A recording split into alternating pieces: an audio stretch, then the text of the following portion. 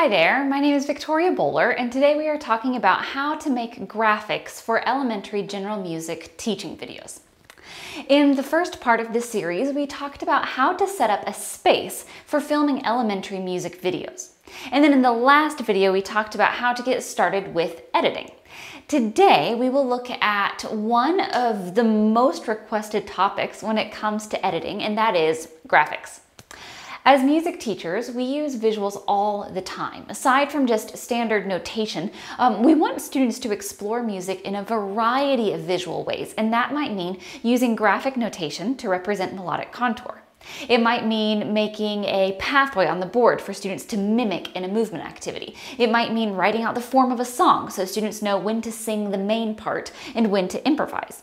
And then for students who benefit from pictures and communication, we use visuals to help with transitions. Or we might display Orff instruments or fingering charts for recorder or ukulele. Uh, when we stop and think about all the ways we use visuals in our regular classes, it's pretty obvious why we would want to utilize graphics in teaching videos for elementary general music.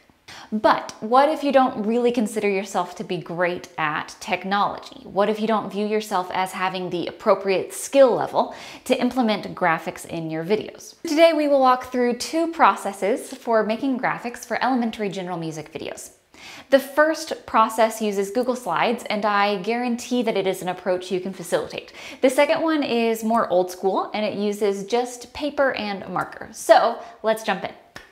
Okay, so we are here in Google Slides. I have a blank presentation open, and then I also have in another tab this uh, collection of music notation symbols, and these are on my website as a paid product, so you can grab them if you're interested. Um, you can also find lots of other options like these on Teachers Pay Teachers. The video project we've been working on the past, in the past two videos has been with the song Apple Tree, and so that's what I want to make these graphics go with. I want to write the rhythm of apple tree. So I'll go over here to this first slide, rhythms, and I want quarter notes and eighth notes. So I will just control C or command C and drop them in. Uh, let's resize them just by clicking and dragging. That first line repeats, so apple tree, apple tree. And we'll just do the first eight beats. So will your apples fall on me?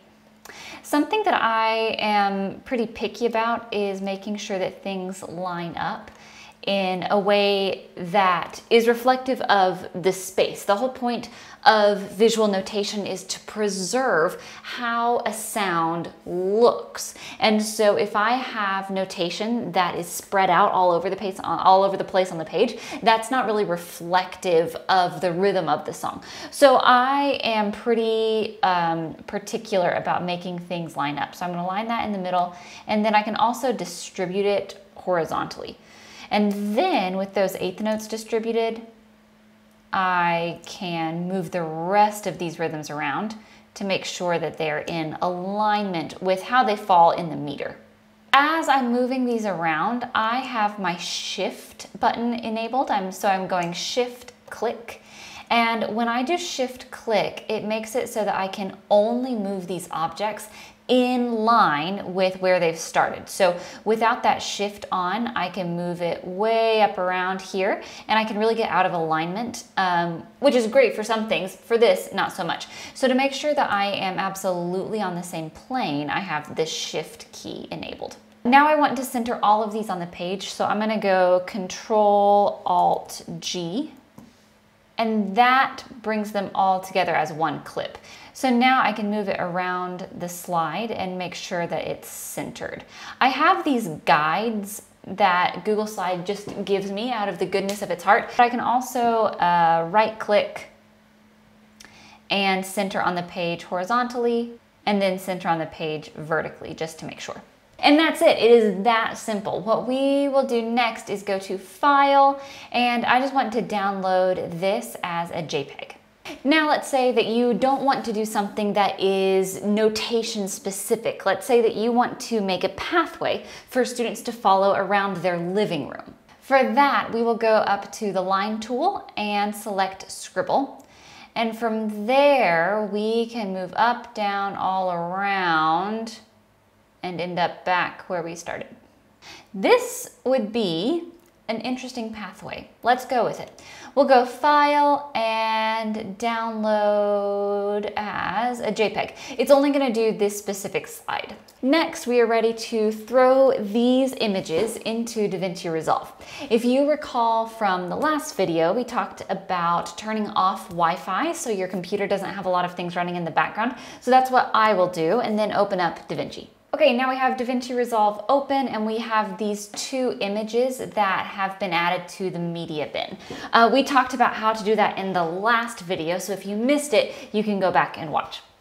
Let's say that I want to add these images to Apple Tree. That's a really easy, just drag and drop situation. So I can drag that into the timeline and move it around anywhere that I want it to show up. Let's put it in at the very beginning and I will retime it. Um, I'm just clicking and dragging to change the length of this picture. Now you can see that it's taking up my entire screen, which is completely unnecessary. So let's resize that by going to the left-hand side and I'm gonna click the transform tool. When I have the image selected and I've selected the transform tool, I can just click and drag this to be however big or little I want it to be. And then I can also drag it anywhere on the screen. So let's say that I want to have it floating here in the bottom right hand corner. There we go, that's it, easy peasy. So now let's talk about another pathway that you might consider if you feel like the Google Slides JPEG option is a bit out of your comfort zone. When we are in class with our students and we need to write something down, chances are we just take a marker and we draw it on the whiteboard. There's no reason we can't replicate that same process here. So let's use a marker and a piece of paper to do this same exact thing.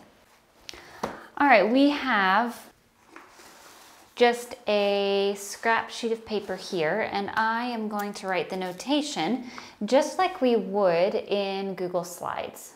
And I will try to make this a little bit more bold than I would if I were just uh, writing it for myself.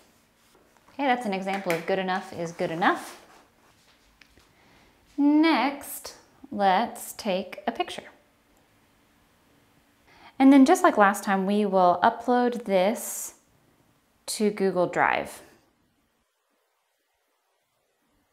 So we're here in DaVinci Resolve, and this is gonna be the exact same process as we walked through with the other JPEG files. We're just gonna drag it and drop it in.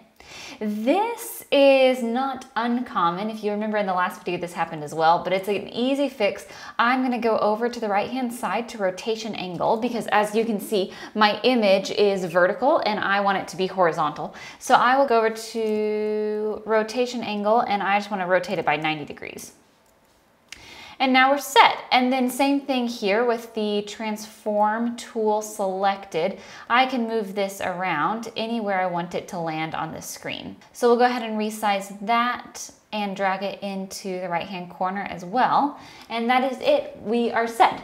So you can use this exact same process and throw anything into the video that you would normally just write on your board at school. If you have any questions about this process, I would love to hear from you. I am not a tech person, I am a music teacher, but I am here to help any way I can. You can drop a comment below. You can find me on Instagram, I am at Victoria Boler, or you can shoot me an email, victoria at victoriaboler.com. Thanks so much for watching and happy teaching.